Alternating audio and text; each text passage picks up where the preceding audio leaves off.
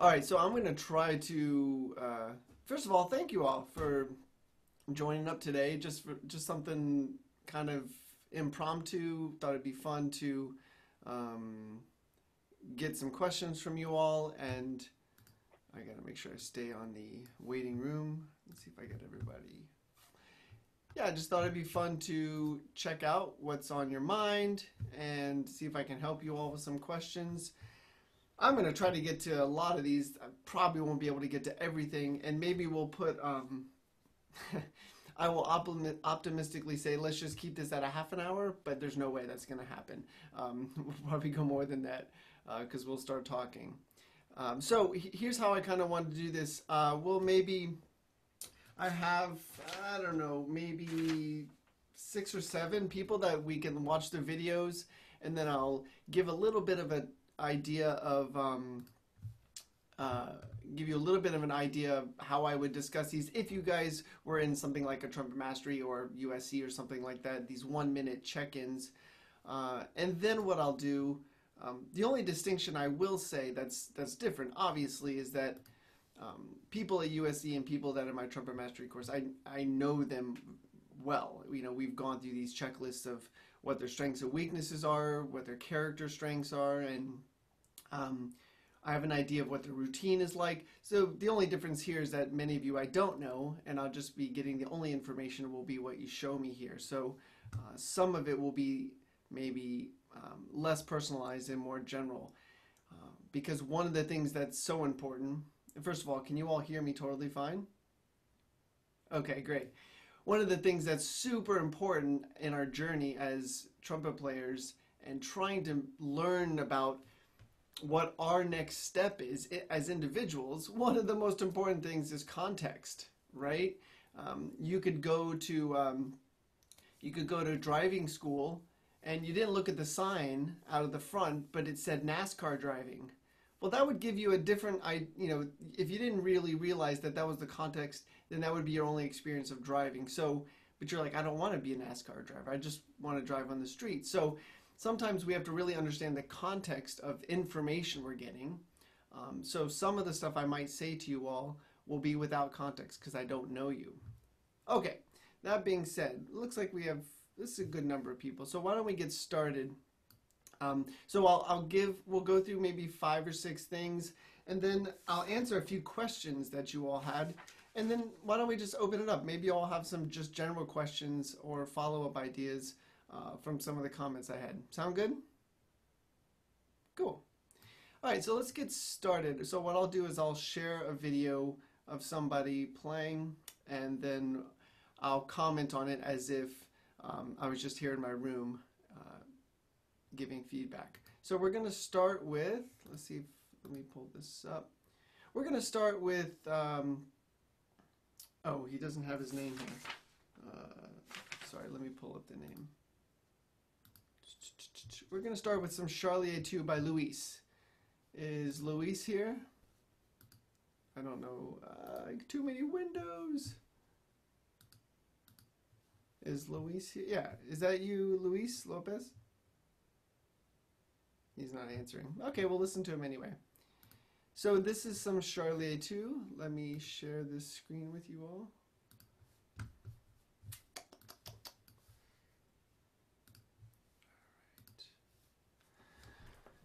Here we go.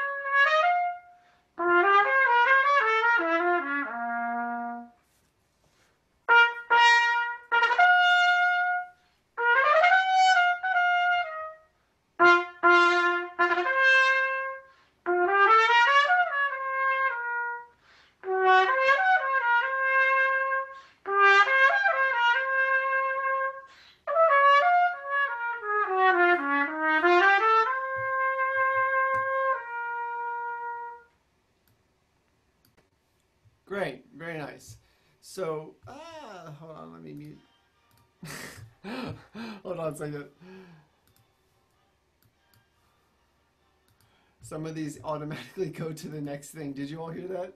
I don't think you did. um, all right, so Luis, thanks for your submission and, and in general, very nice playing. Um, so, this Charlier 2, beautiful thing, beautiful melodies, and um, I would compliment you, first of all, on I don't know you, but your setup looks pretty good, and it sounds like you're pretty balanced. This is a question some of you had about trumpet playing is sort of the balance or the chops. And so I would say that looks pretty good. You look like you're pretty connected with the instrument. So that's that's a real positive. Um, and when it comes to playing Charlier 2 or these kinds of things, there's a lot of character here, a lot of potential nuance that we can access as trumpet players.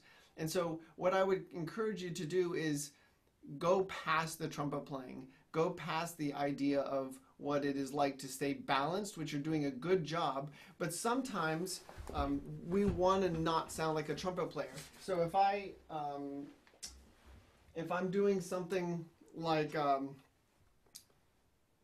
trying to divorce myself from what's easy on the trumpet and what's really good musically, I have to think a little bit. So if I press into the sound, I have to turn my voice down a little here. If I'm going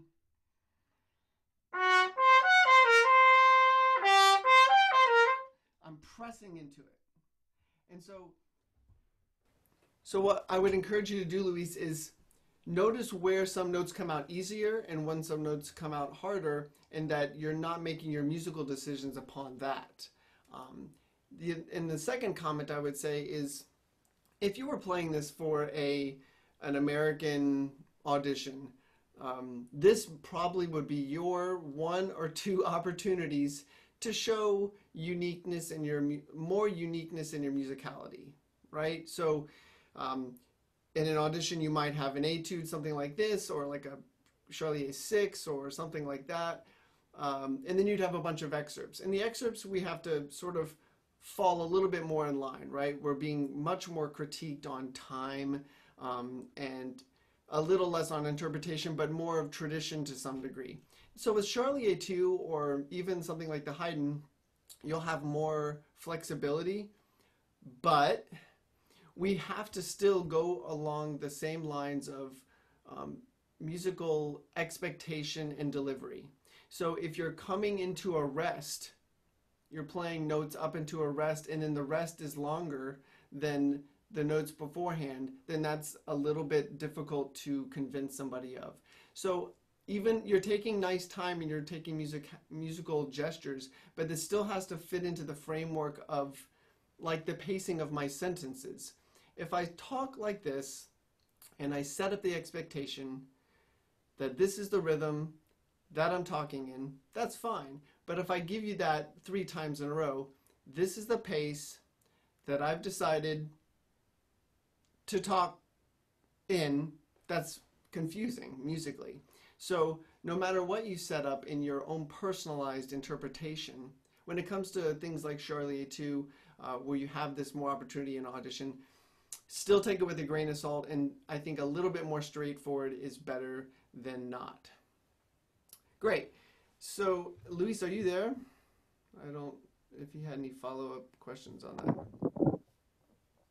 Hey, Professor Hooten. I'm uh, George from Bulgaria. Uh, this video is mine. Uh, I'm sorry uh, to correct you. Oh, no problem. Uh, this video was mine. Oh, I see. Yes, I do have the wrong name. My apologies. Yeah. Thank you. Thank you for all your tips. Okay. Any questions on that? No, no, thank you. Thank you Okay. so much. Great. I'm sorry I got that mixed up. Okay, so let's keep going. Oh wow, I just have way too many tabs open here. Okay, so the next one I want to talk about is from. Um, this is Summon the Heroes. And I don't have the name right up here yet. Does somebody want to chime in who this is? Uh, here, I'll tell you. I think it might have been mine. Donnie?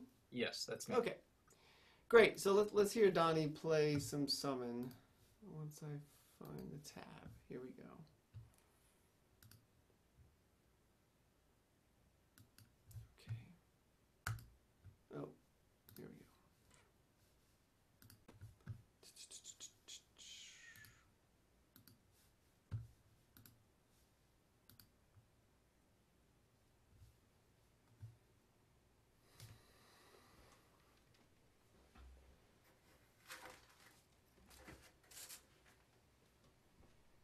Mm-hmm.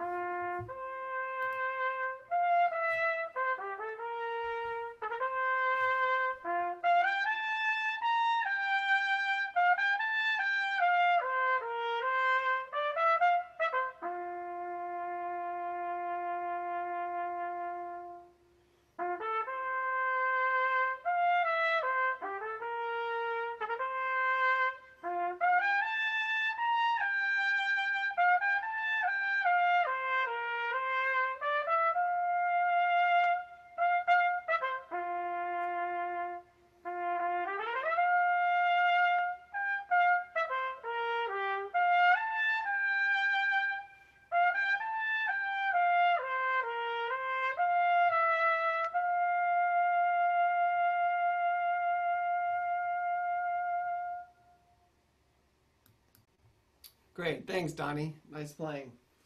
Okay, so with this Summon the Heroes, what a great piece. my gosh, I miss playing this kind of stuff. Actually, we probably would be getting ready about now to play our John Williams program at the Bowl. Um, hmm. all right, so this Summon the Heroes, and I noticed you you all noticed he had had a little reverb, right? Yeah, and so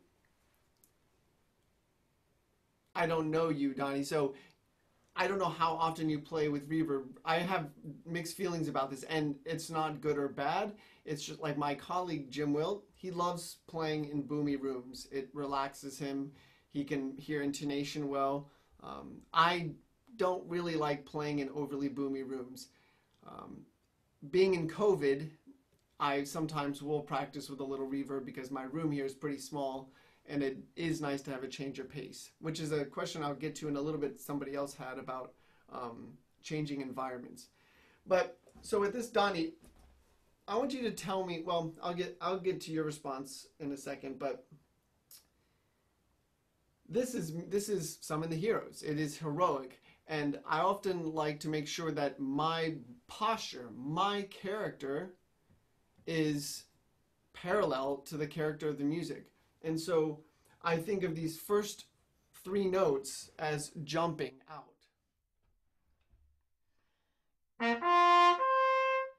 Ba-bum, bum.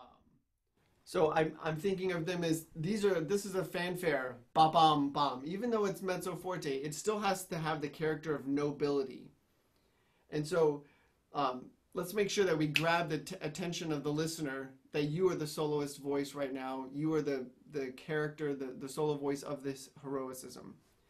Now, let's think another way about this musically. We're not going to talk about chops in this particular example because uh, I think musically can help fix some things here. Have you ever watched somebody in the Olympics and you sort of like, you know, you all, are, you, your viewpoint of the camera, my camera is like the television camera, and you see the person and they're about to like they're about to do their thing and you look at their eyes and you're like where are they? You know? They're not aware of like you know like oh they're not doing anything like that. They're not really going like that. Their eyes are like somewhere else. You ever notice that? Absolutely. yeah and so how does this relate to music how this relates to me is that my musical line is unending.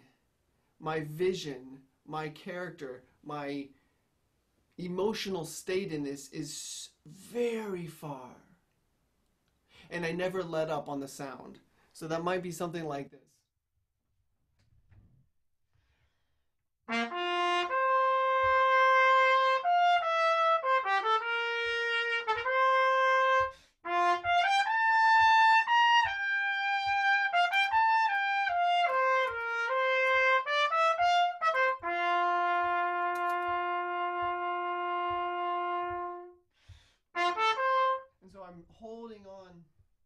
I'm holding on to the energy. It doesn't matter if I'm going up, if I'm going down. I'm thinking of the thread of energy being pulled from my chops or from my bell, and I'm never letting letting that energy down. And so as you slow down, as you go up, as you go down, you're really thinking of keeping that connection, that sonic connection, that energy. And what I noticed you doing a little bit is sort of going in little pieces. Like, hey, hey. And we need to sort of be in character the whole time. Okay. That make sense? Absolutely. Good. Absolutely. So, any questions on that? Um, yeah, I think that the only question would, and obviously, I, I'm guessing that if I were to have more connection and stay with the thread through the whole piece, my sound continuity or color continuity between the registers would be a little bit more consistent, right? Exactly. So, exactly. That's that was my point about the musical line will sort of make you look for better ways to stay in that. So you might notice like is there a big jump or a big difference between an octave? You know, it might this will be a little loud, but like is it is are you changing? Is it ba ba? You're changing sort of vowel way too much. Okay. We could talk a little bit about the gate. About um, this is something I want to address in somebody else's question, but this idea of FP. I notice, you know, you have a little bit slightly unconventional thing going on. I think if I noticed correctly, and we just want to make sure that we have access to the.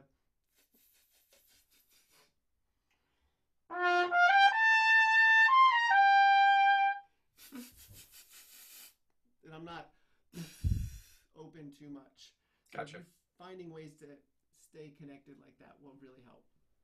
Great, let's keep going. Thank you. Yeah. Okay, so this is going to be Robert Richardson. He's gonna play the some fantasy. That's me. All right, Robert.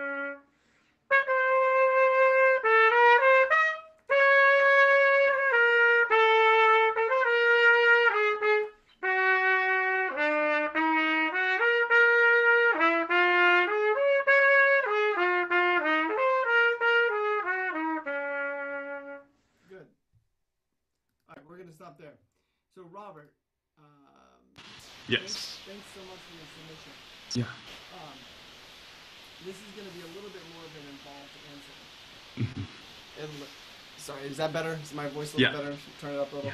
Um, what I was just talking about in terms of this, the chops and having sort of a, a gate. Does that make sense to all of you that I can see? Does the Yeah. gate? Does the word gate seem weird? Uh, I mean, I, I get it. I get it. Yeah. So it's like your ability to manage the air that's leaving your body, basically, into the form of an aperture, right? And so this is where context becomes a huge, huge thing. You know, somebody might say, "Oh man, you got to be really loose here," and you're like, "I can't play above the staff. What do you mean loose?" And then somebody says, "Like, oh no, you got to have a nice small aperture." You know, you've heard people say that. Me, I say mm-hmm. that. Well, which one is it? Am I loose? Am I small? Yeah, you're loose and small. And so what I notice with you is that you, there's a little bit. This is I'm gonna be I'm throwing you under the bus here real quick, but the reason I picked your video is because you're struggling with some production things. Yeah. Right? Would you agree? Yes. Yes. And so if I try to emulate you, we have a flat here and pushed up. And so you're having a little bit of a difficult time staying um, focused, and Yeah. pressure opens up the top lip, and the bottom lip isn't supporting enough. So this is not going to be a quick fix. Um, Yeah. And so it doesn't really fit under the paradigm of like, oh, here's your. If you were in a course that I knew you more, this I would much have much more supporting um, fundamental stuff to give you. But I would suggest that you start doing a little bit of side work with a little bit of lip buzzing, maybe Mhm. perhaps um, a little bit below the staff, something like. Um,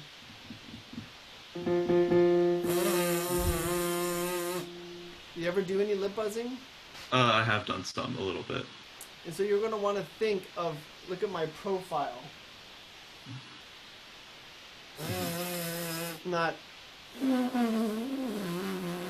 like that. Do you see what I'm saying? Yeah, yeah. You're going to want to start building some of the muscle memory of if you ever watch this um, ever look at videos of Harry James or if you look at Håkan Hardenberger, if you look at Ole Edvard Antonsen, look at Doc Severinsen, even Doc Severinsen, he talks so much about being even, you know, even able to connect from the top and the bottom. That's really what I would suggest you do, um, and do some sort of setup drills because you Okay. struggle a little bit with the upper register, correct? Yes, yes. Yeah. And what's the first note of your day? Um, I, I usually uh, I'll usually start with some lead pipe buzzing. Um, On low start or high? low. Uh, I usually shoot for I, I start lead pipe buzzing on C trumpet. Usually go for Oh. a G as my first. You do lead pipe buzzing on C trumpet? Yes. Interesting. You've you- never done it on B flat? Uh, I, I've done a B flat some. I tend to go for C more. Why is that? Uh, my teacher mostly. Uh, we've we've been working a lot, and he he prefers doing it on C trumpet, and so I kind of have been Yeah. uh, tending to do it there. Okay. Well, of course. Listen to your teacher. Um, Mhm. and do you mind if I ask who that is? Uh, it's Danny Talbenheim. Uh, he plays yeah, in San. Antonio Symphony. Yeah. So, in general, for you all out there that are maybe wondering about setup drill, you can do lead pipe on B flat trumpet two different ways. I don't usually do it on C trumpet, but I'm, he probably has a, a reason for this. But if you do the Bill Adam way, there's sort of getting that ninth. But what really helped me, Robert, was Mhm. doing some work setting up on the concert F. Okay.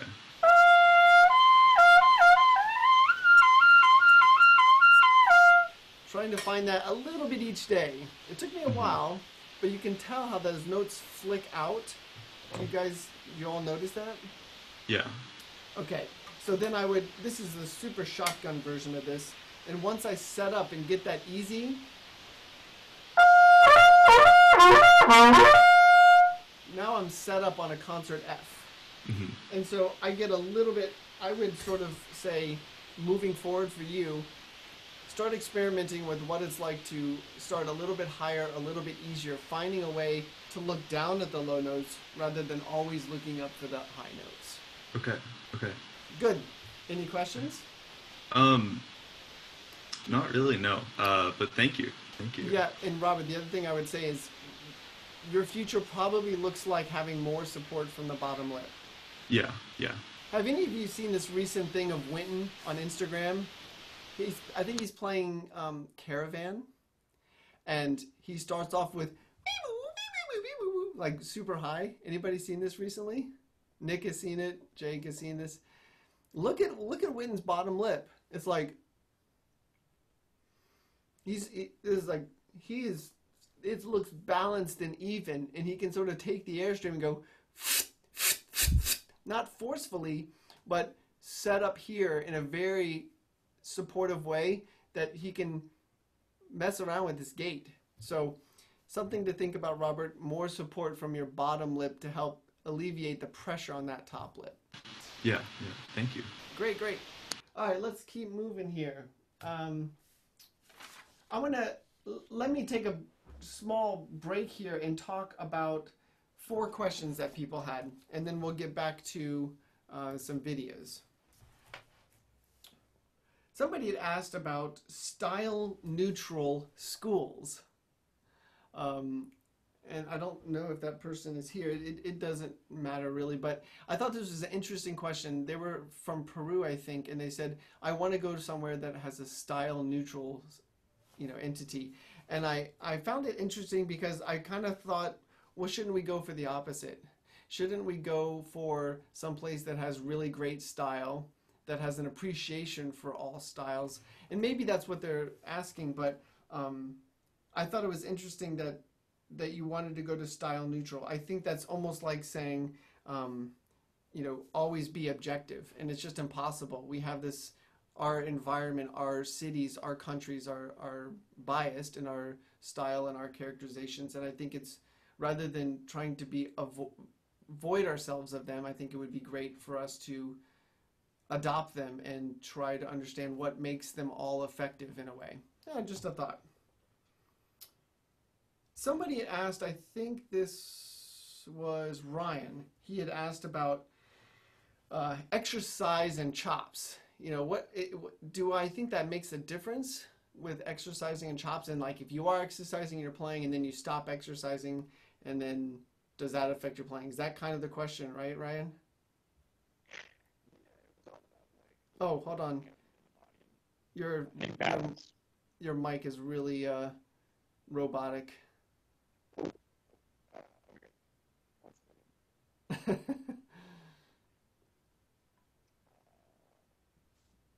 Is this better? yeah. Beautiful.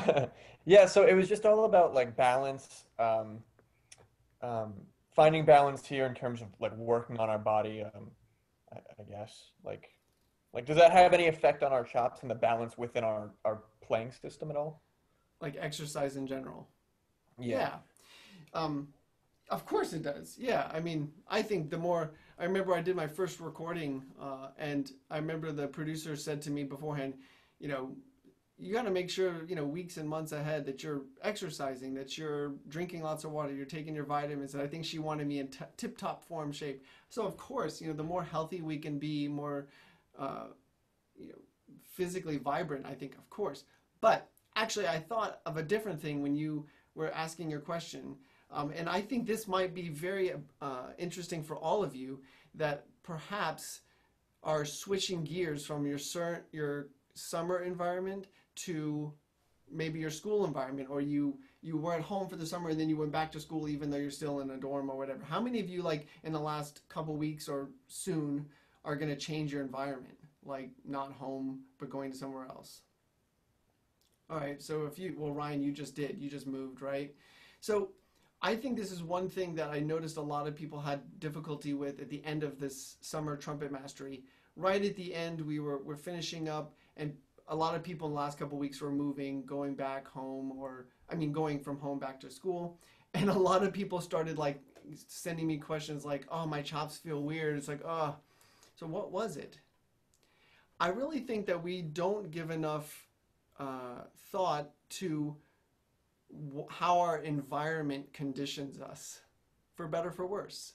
And so you can be in some room like this, or you can play in the same room 99% of the time during the summer, 95% of the time, and then all of a sudden you move, a lot of things change, but now you're practicing in a different place that's giving you completely different feedback, and your body wants to respond, not consciously, it's responding unconsciously. You're like, you may think, oh man, this doesn't sound right.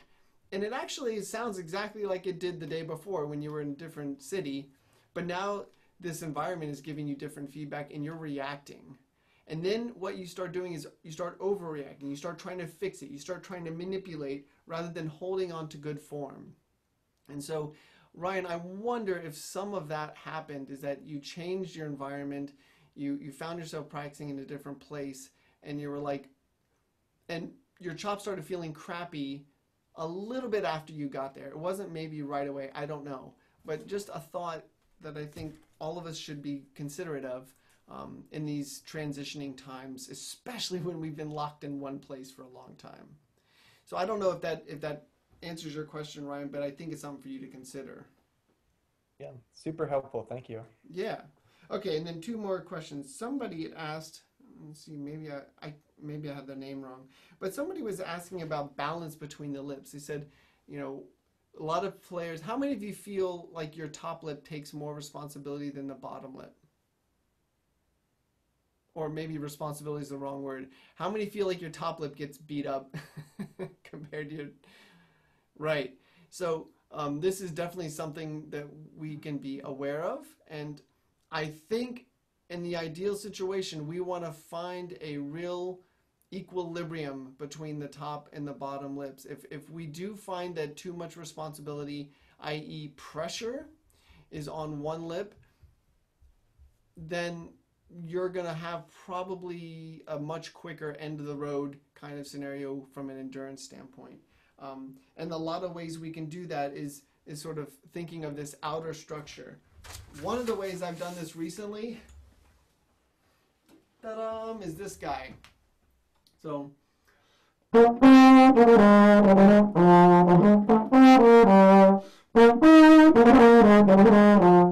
Trying to understand how the outer support system engages on a bigger mouthpiece, which maybe you don't know, Bud Herseth played baritone for like a year before he played trumpet. And then he also played trumpet. He also played baritone while he played trumpet because he got scar tissue here and he wanted to kind of loosen it up. And he was doing some work um, to stay in shape to help keep this kind of flexible because there was scar tissue right in the middle of his face. So the baritone has really helped me engage this to find a way to stay balanced here. So just a thought. You could also just get a, a single mouthpiece just to notice how these points here are important to supporting this. Okay, and then um, let, let's go back to a couple videos here. Let's listen to, uh, I think Mr. Cole just showed up. Let's, let's see what Mr. Cole has to say. Let me find this video. Now that I have access. Okay, one second. Uh, share. Here we go. Hey, what's up, man? Long time no see. Um, from a lesson that we had a long time ago, when uh, about a major embouchure change for me, you said that I was too probably too open here, and uh, I've been working hard on closing it down. And because I have a big dip in my upper lip, Bobby Shew suggested that I move the horn a little to the left, the non-dominant side. It's been kind of working. I've been getting sound. I've been able to play much higher uh, without pressure than I used to. Um, but my articulations are completely blowing apart, and it's not stable at all. And I, I know that you went through a big embouchure change a long time ago, and I was just wondering, uh, what did you work on to stabilize and get those articulations happening? Um, help.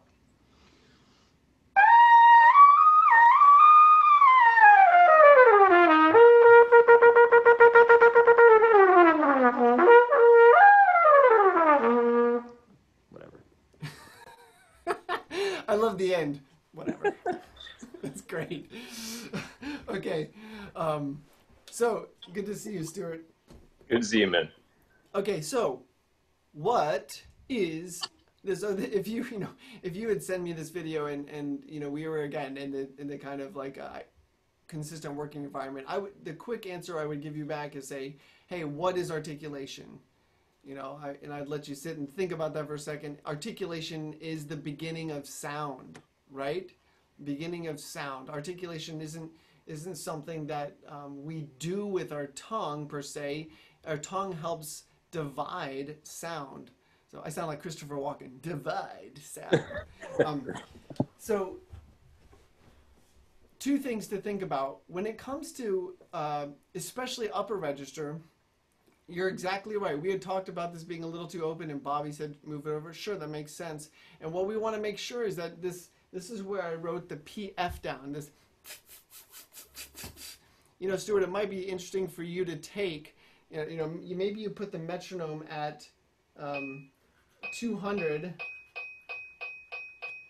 and do.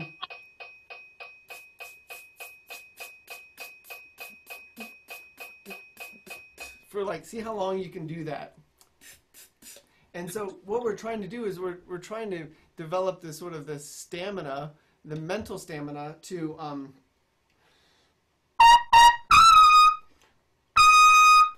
Sorry, that's too loud.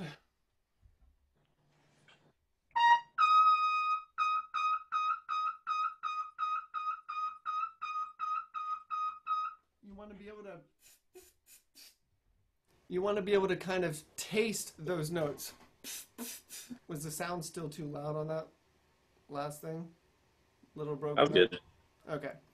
So, um, I got people waiting to get in. One second. Oh, they went away. They changed their mind. So, so Stuart, the that that's the one thing. I think you are getting that articulation in the middle register. So you want to want to work on support system to, to maintain that forwardness to keep that access. Now, here's the other thing that is going to be a little contrarian. You're playing a mouthpiece that's got a pretty damn big throat. And so, one thing that is going to help us when it comes to playing with the instrument is understanding how do we find this equilibrium of balance and resistance, right? If we don't have enough inherent resistance in the instrument, then we are going to have to. You could be a freak like Wynton, who's amazing at, at sort of, he's very structurally sound and can have that with a, a, mouthpiece that probably has a bigger throat. He doesn't need that resistance because he's just optimal here. It's really easy for him to sort of control that uh, with the setup, the structure out here. But if you have this, things kind of get pushed open here because of excess tissue, you're going to want to make sure that maybe a mouthpiece with slightly more resistance could help you find a way to stay balanced. So just a couple thoughts there. Um, and then the other, the last point I would say about articulation, and this is a little bit of a silly thing. I like talking about lip fry. Did we talk about this? No. Anybody here heard me talk about lip fry, Anthony?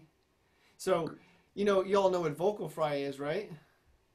You're like, oh my god, this California thing. Stuart, we, we know about this, right? So Yeah. Oh, so there's something of and look this is super um, kind of casual talk this is not nitty gritty we could talk about nitty gritty but it might not be um, relevant for all of you but just in a general sense this idea of vocal fry the lips respond and look almost similar to the vocal cords and how it grips the airstream so if our lips if our vocal stream our, our, our vocal cords can't grab the airstream, then we can go A, A, A. We go hey, hey, and we don't, you feel that kind of lack of resistance and lack of enunciation, which is the beginning of sound, which is articulation. Are, are y'all following me on this? it's making sense. So the vocal fry sometimes is a funny way for us to see, do I have access to the uh, uh, uh, uh, uh, like my vocal cords do on a higher note. So it might sound like this, like a very um, accentuated P attack, but you're just testing to see if you have access to uh, this lip fry. So you can get in the middle register.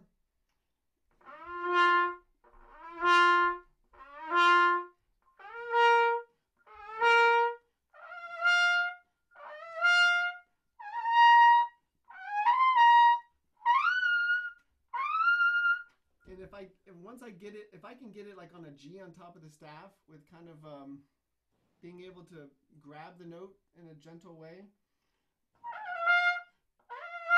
Now, of course, I never play like that, but I have access to that as a sort of litmus test for my general setup.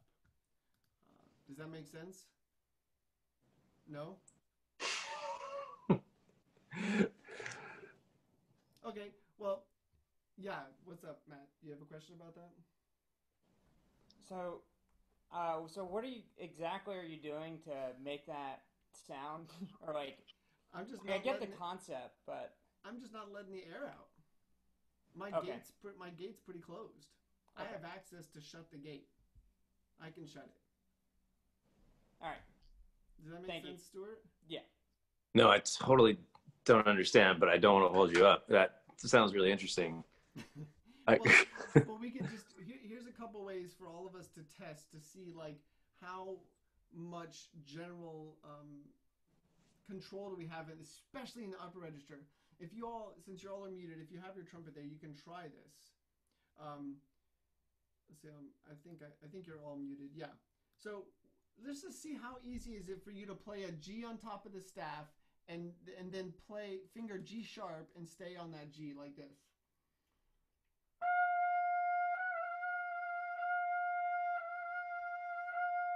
In piano. Go ahead and try that.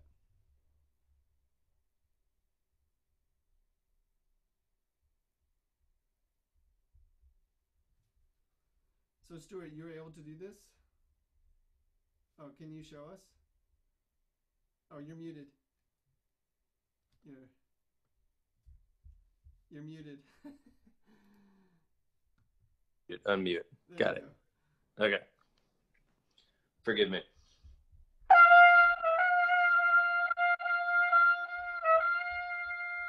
Good. That's good. Now, the only other thing that's a little bit tricky with this is because your throat is so big, it helps you have this kind of access to this. It helps you sort of there's there's not sort of this resistance point that's making you have that control. So, how, did, how many of you had trouble when you went to finger the G sharp to stay on the G? You flicked all over the place. Yeah, it was like you were kind of going like this. How many of you did that? Right.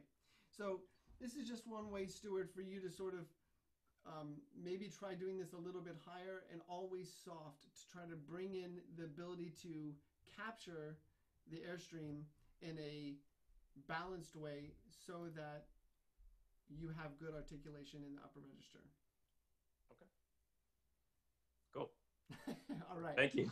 yeah, let, us do one more, everybody. Let's see. Um, so many choices. I so appreciate all of your submissions. Uh, let's do. I don't think he's here. Um, Chris Bubolts. Are you here, Chris? If he's not here, then maybe we won't do him. Forget him. Hey, you want to see a funny video? Let's watch this one. This is by a tuba player. Um, it's always easy to laugh at tuba players. I'm just kidding. Here we go.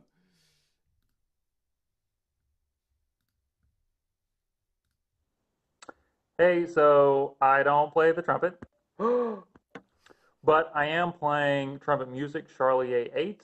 And uh, my question is do you have any tips for navigating these uh, intervals uh, of a fourth uh, that happen uh, at the tempo one section about two thirds of the way down the first page, looking to use less motion and be more efficient. I think that will apply to all brass players, trumpet, tuba, whatever.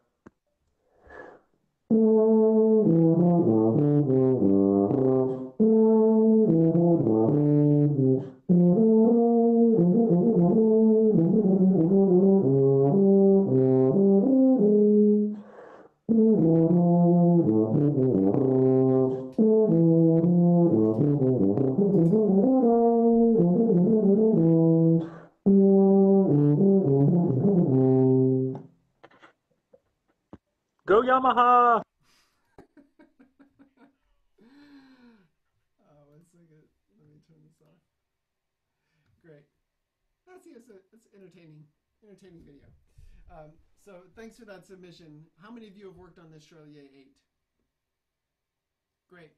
So yeah, it's a little bit of a tricky spot. And so in general, how many how many of you use the Vizzuti book? Great. So one of the things I love in the Vizzuti book is number six in Vizzuti book one in the slur section. Very similar to this right here. And so what I would say uh, to anyone who's working on this is that he has very good you have very good centering of your notes when it's lyrical and oftentimes when it's moving it's very nice you can hear this sort of clear resonant center but when you start moving it's a little bit like that video of somebody putting a 50 pound weight inside of a spin cycle of a dishwasher or you know a washing machine it starts off and then the thing just completely destroys itself so what we want to do in general um, now of course it's different for tuba player because they're moving a lot more tissue but for us as trumpet players we want to start to learn how to, like, to use his words, navigate between different intervals with as little movement as possible. Because then the more movement there is, the more complication there is, the more um, difficult it is to do it with speed and ease and efficiency. And so when it comes to those intervals, something like this, he's playing it in a different key, uh, but.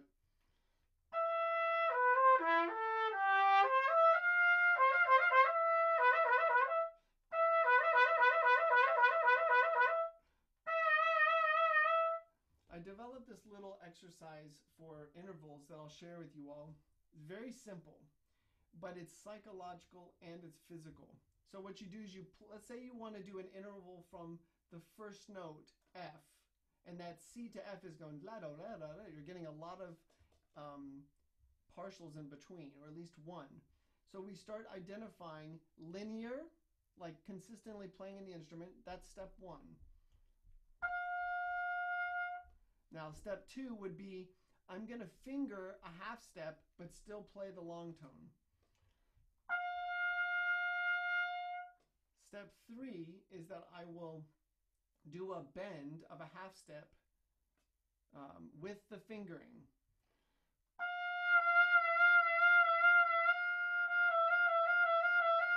And then I play it. So then you keep going with the intervals, always doing a half step bend. So we'll do this fourth, which is what he's asking about. And this, I'll do the four step process with the idea of um, fingering but not playing it. And then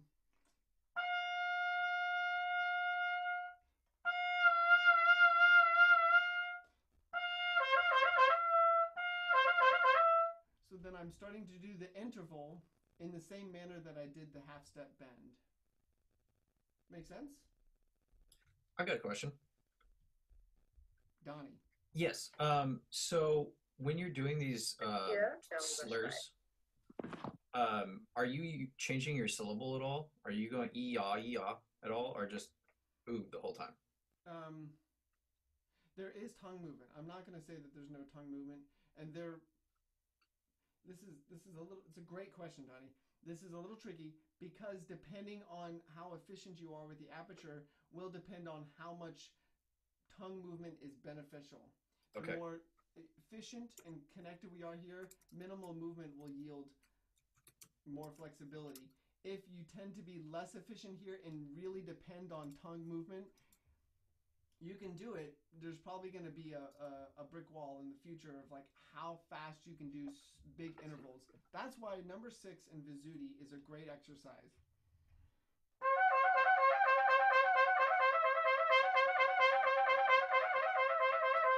Trying to get none of this.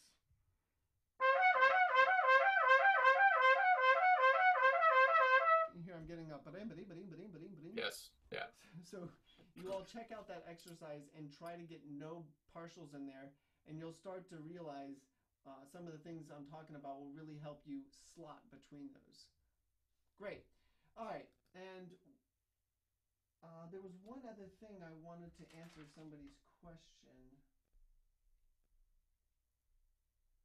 Um, yeah, I mean, it was just a general question that Matt had about organization. You all don't probably know too much about this in my teaching style, but I, I'm personally I'm not the most organized person in the world, but I was maybe just barely smart enough to realize that for me to get better on trumpet, I had to be organized at least with trumpet, and so um, Matt was asking how organized am I for planning my day, planning my week. Um, and Matt, I wouldn't say that I plan to a point of rigidity that doesn't allow me to listen and be flexible, but there is enough, I would say it's more observation and documenting what I'm doing than it is saying, I will play this at this minute or I will do this all day. Um, I allow myself to be flexible and have really good form in what I'm doing. And then I start noticing if there's too many things that I'm not getting to. But I will say this my teaching is evolving as I work with more people and I evolve myself as a player. Um, you can do a lot of great things in simple exercises. So, for example, one thing I was working on last night is a, a great book by Chris Gekker. Do you all know this book? Slow practice. And so all the things I'm talking to you about, about gate and being able to connect and stay balanced and stay what we really need is opportunities to let those seeds grow, these ideas grow, these kernels of greatness to grow. And so something like slow practice on all sorts of intervals like this.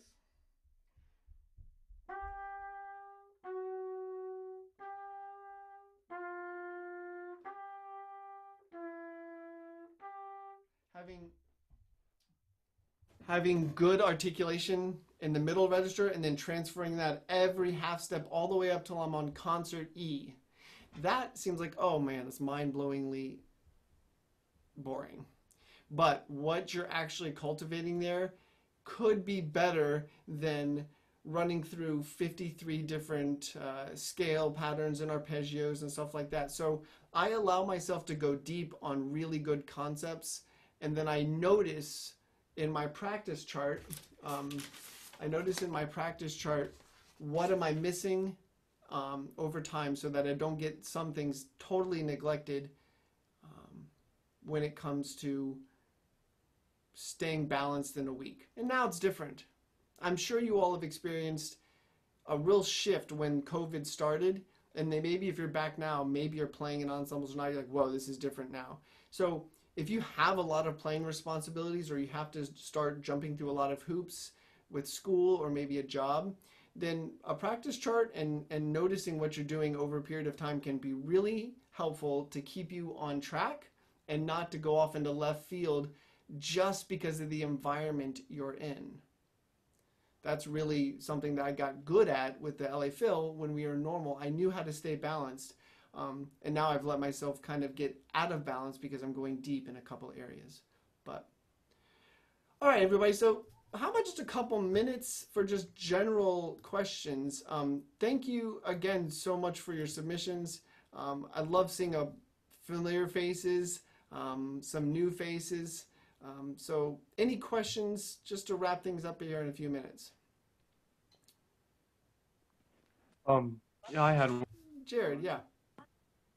Um, I sorry, I think you probably saw it, but it was just about like keeping the feeling of your chops being consistent day to day. Sometimes I have days where I feel really good, and other days, next day I feel really weird. So if there's any tips you could give for that. Yeah, thanks. So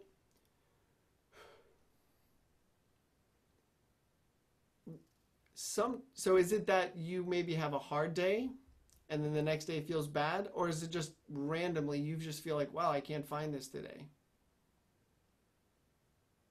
Um, sometimes it can be a little bit of both. So like, you know, someday I might have a hard day and then I'm I'm feeling uh kind of bad the next day or I feel really good that day so I play a lot, you know, and then the next day kind of Right. you know. Right. So there's our pedagogical understanding of this is becoming much much better. And and as our understanding of how to manage this better from a teaching standpoint improves.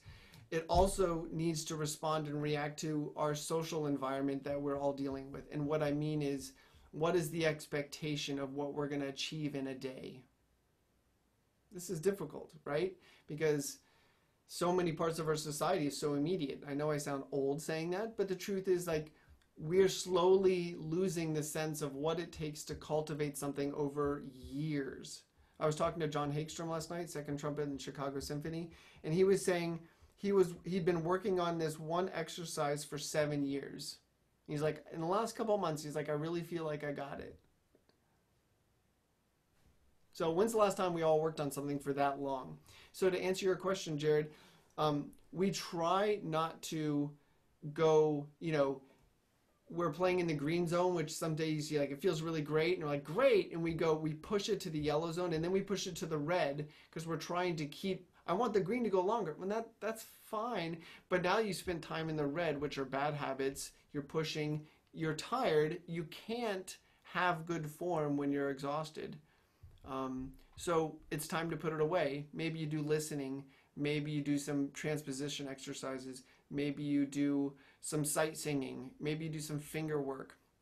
and make sure that you're giving your you're not going to that red zone every day to where the next day you actually physically have hurt yourself. I remember Håkan saying something to the effect of he'll get this to be respond respond very easily with good structure supporting that and then he tries to hold on to that as long as he can throughout the day. And so back when he was probably in his late teens, early 20s, um, he was probably doing things like the slow practice work for hours a day. Hours building a substantial foundation of support around a beautiful, delicate flower that is this. And it's it's easy to sort of like for somebody to take that for granted, but like I don't think most of us do that, right? So I would say notice here, here's a good way to describe this. Let's say, how many of you have arm wrestled before? Yeah, Stuart's like, nah, not proud of it. okay, so you know, if you start out here, like ready, one, two, three, go, and you you stay here, you feel pretty strong, right? You're like, hey, this is good. If you get here, you feel what? Even stronger. You're like, leverage is going the right way. It feels great. Now, what happens? Just ever so slightly, the, the person gets the upper hand a little bit. What happens to your form? Does your arm feel good? Do you feel stronger? How much strength is it going to take you to get back to neutral? A lot more than it did to get to here. And so, if you spend too much of your time here, this way, your arm starts to hurt what happens to your legs? They start searching for ways to support your upper body. All these other things start coming up to try to support, and they might not be the things you want to support. Now you're learning how to do that. And a lot of us learn how to play a long time with bad habits. I think that's normal. We all have a different balance of that. But for you, Jared, I would say notice when you've lost your form, steer your attention to somewhere else to try to stay healthy and trust that over time you will get better and better endurance of great form rather than um, compromised. And then you'll be able to access that good form each day consistently as opposed to you know overreacting kind of good bad good bad and then you have to find it again sometimes it takes a long time great Gotcha. somebody Thank had you. a question down here can you talk about the balance of the tulips yeah Lucy, we talked about this a little bit um, just staying balanced you can you'll we'll put this video i think on facebook and you can look at it but not to repeat for our friends here but staying balanced this way x and y axis is really important. I've been doing a little bit more facial exercises just bringing awareness to different parts of the body uh, so that i can help engage them. Um, most people that are amazing players they have good symmetry not all. I mean, there's some great players that don't have good symmetry, but most, you look at Doc, you look at Harry James, you look at Håkan, the list goes on. There's a degree of symmetry, almost like four points. And if we start losing that, the lips cave in, um, jaws too far open, then we start having points of excess pressure. One point's taking the responsibility of three, and that's that gets a little dangerous. All right, let's do one more question, then we'll call it a day. Oh, Stuart, did you have a follow up on that? You're muted. Uh, you're you're muted. Uh, okay, can you hear me? Yeah. Okay, for the four points of symmetry that you're talking about, um, I have a I have a pretty big overbite. So for people that already have, and also like the dip in my upper lip. So, um, how, how does that factor into your? Yeah. So it's a great question. Um, so what we want to do is this. Even though you might have an overbite, we want to make sure that this place where the teeth and the lip, that that's a good, that's a really great place for you to manage this bigger, you know, this sort of airstream that uh, relatively speaking to the trumpet is like way too much it's way too big so this this gate is a, a way for you to manage that despite the the teeth being down here managing this does that make sense Yeah, I think so. that that'll really help Sort of. Yeah, I Somehow mean, it does. it's just, I mean, you don't want this. If the overbites, your teeth come down, then this has nothing. Then there's like pushing here. But the second it,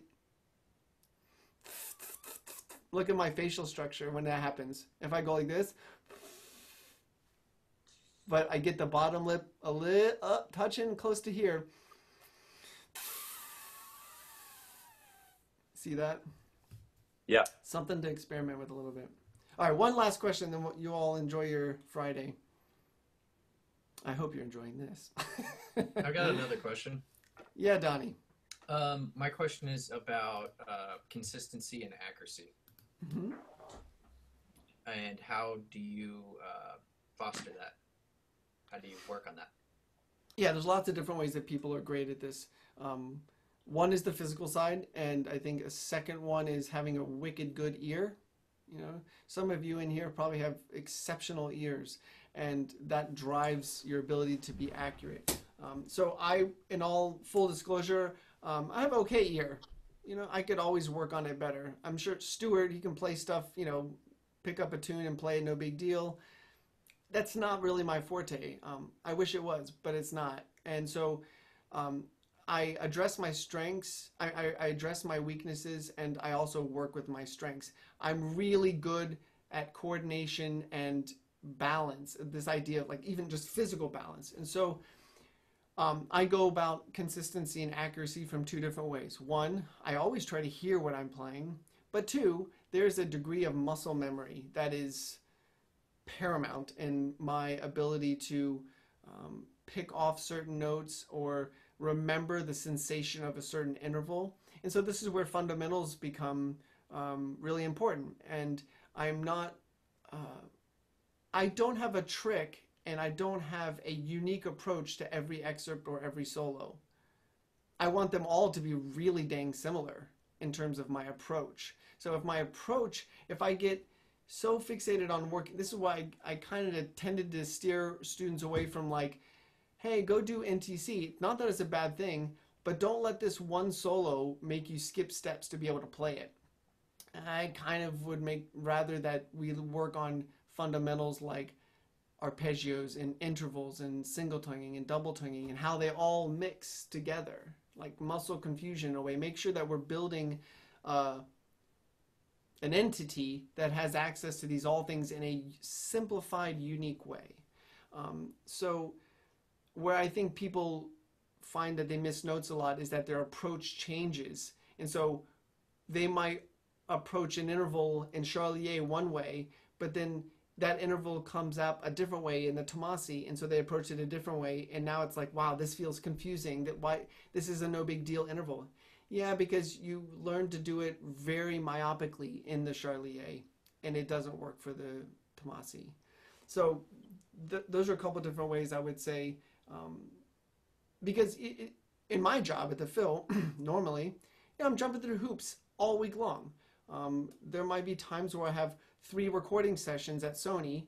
I go, I play three concerts at the Phil. I'm teaching, and I also have a chamber music concert all in the same week. And you're like, I can't have a different way of approaching all these different intervals, or we'll call them obstacle courses, right? they're all different kind of obstacle courses. Like the, in the Sony session, it's like bum, bum, bum, and that's it. Well, I can't approach that differently than something else because otherwise that's going to feel like completely foreign to me. So I try to be, um, uh, I try to have a good fundamental base, hear hear it, and then have good muscle memory of intervals and sort of a straightforward, simple way of approaching all things Awesome. Thank you so much. all the way back into the breath. I hope you all are doing breathing exercises or something like that because that's where it starts. Does that make sense, Donnie? I mean, a lot of times people will take a shallow breath for something and then they'll take a deep breath for something else just because of where it is. And that's that's dangerous, I think. Yeah, I agree. I agree. Great. You all are awesome. One last short question about the U. Yeah, George. One last short question about the USC. How will be the auditions be held for the next academic year for an undergraduate uh, admissions, live or online? Do you have information about that? About for me or my uh, USC or just in general? Uh, for the trumpet undergraduate music program in the USC. Oh, USC. Yeah, we, we're not sure. Um, I don't think many places know what's going on with their auditions. Uh, it looks like many of you are in college or at least recently graduated. You know, it's, it's kind of a mess right now. I have no idea. Um, as soon as you know, as soon as we know, um, though I'm sure there'll be an an announcement. But I'm guessing that there's going to be a lot of recorded material. Um, it's hard to imagine that things are going to improve in the next couple months with flu season coming around, that kind of thing. Um, but in terms of the material, the material should be relatively the same. So whatever's up on the website now, we haven't really changed it in the past. It's kind of a general thing of a, you know, contrasting etudes and a solo and that kind of thing. Pretty straightforward. Great, everybody. Yes. Yes. Okay. Thank you so much for your time today. Um, I really appreciate it. You all, I hope you're staying healthy, you're staying well. And as a side note, I hope you're staying mentally healthy. Um, for me, this has been a, been a challenge and a silver lining in a lot of ways too. But, you know, balancing a lot of the things like kids, work, um, connecting, and downtime has been a challenge. And I just encourage you all to um, take care of yourselves and, you know, a little meditation a little bit of um, respite from uh, what could seemingly be a very anxious filled time. So please stay healthy and safe and, and thank you for your time today. I really appreciate it. So best of luck to you all, guys. Take care. Thanks, Tom. Yeah. Thank you. Yeah. Thanks, man. Tom, Thank you.